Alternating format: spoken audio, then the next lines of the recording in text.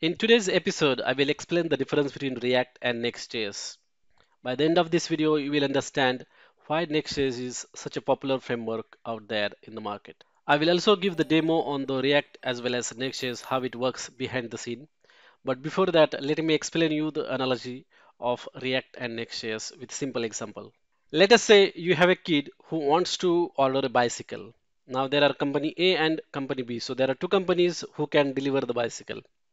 The difference is that company A delivers the cycle but in a parts. That means it is not assembled. Okay. So they will send the parcel, you get the parcel and then you assemble it and then your cycle is ready. The company B is sending you the assembled cycle. So everything is ready.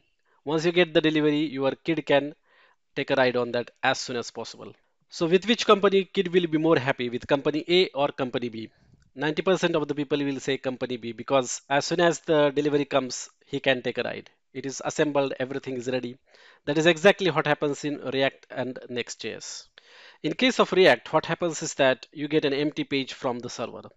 So you get an HTML page, there is head, there is a body, but inside body, there is nothing. There is just one element with ID root.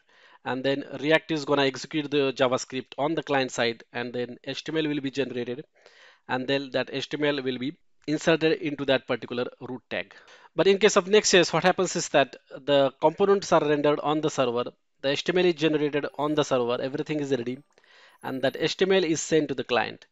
Once the client browser gets that HTML, so in the body itself, there is everything is there, like data, div, whatever tags are there, everything is there in the body. So you can see that Next.js is very fast and React is very slow. In case of React, what is happening is that entire JS bundle is being sent from the server to the client. Client is executing that JavaScript and then the whole application is being generated on the client side. Server-side rendering is particularly beneficial for content-heavy websites or applications where search engine optimization is crucial. By providing pre-rendered HTML, Next.js ensures that search engines can easily crawl and index the content, boosting discoverability and search rankings.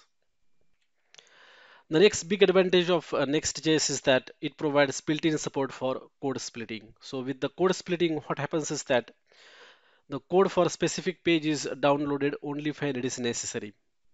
In case of React, what happens is that entire JavaScript bundle is downloaded from the server to boot the application. But in case of Next.js, it happens through the code splitting. So if you want to see the home page, only that JavaScript or the resources will be sent to the client that are required to view the home page.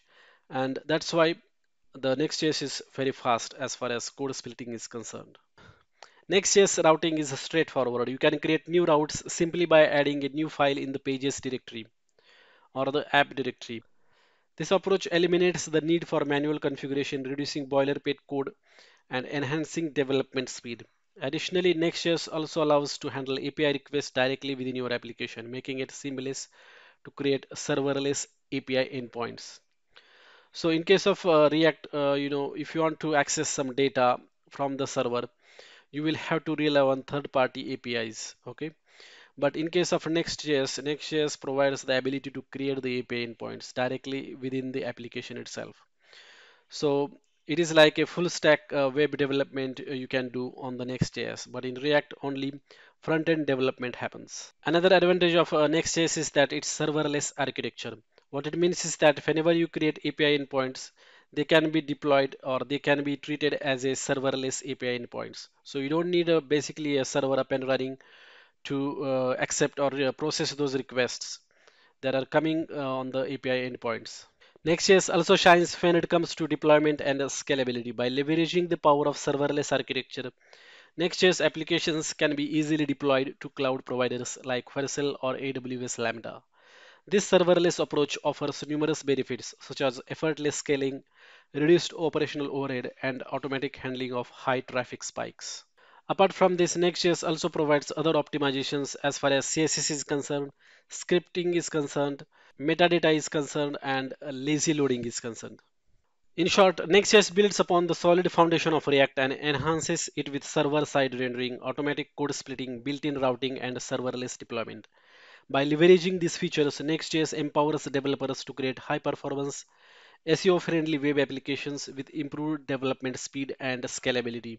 As the web evolves, Next.js continues to be a valuable tool in a developer's toolkit.